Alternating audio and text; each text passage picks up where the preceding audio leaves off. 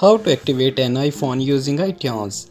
Congratulations, you got your new iPhone. Now it's time to activate it and start enjoy the Slack new tech and maybe make some phone calls too. While the easiest way to activate a new iPhone is from the carrier store. If you bought your new iPhone online, you will need to activate it at home. You can activate your iPhone using a wireless or cellular network connections or by using iTunes on your computer. Number 1.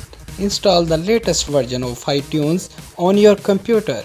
If do not have a wireless network connections for your iPhone or want to move through the setup process quicker, you can use iTunes to activate in a few clicks.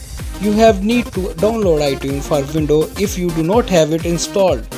Mac computer come with iTunes installed. Number 2. Start the new iPhone setup process on the iPhone. You have be prompt to select a language and region. Number 3. Tap Connect to iTunes. This will be displayed beneath any available wireless network.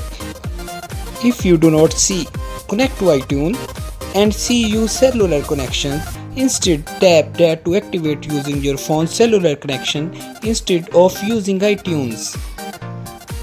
Number 4.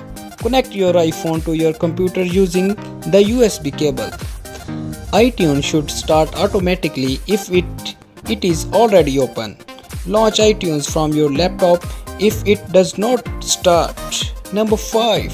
Start the setup process in iTunes. You have be prompt to set up the phone anew or restore from a backup. Choose whichever method is suitable for you.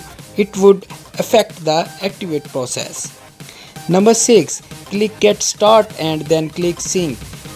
Your iPhone with sync to your computer and your cellular activation will be applied. Number 7. Disconnect your iPhone and continue the setup on your iPhone screen. Once the sync is completed, your iPhone is activated. You can finish the rest of the setup process on your iPhone screen including creating a passcode and signing in with an Apple ID.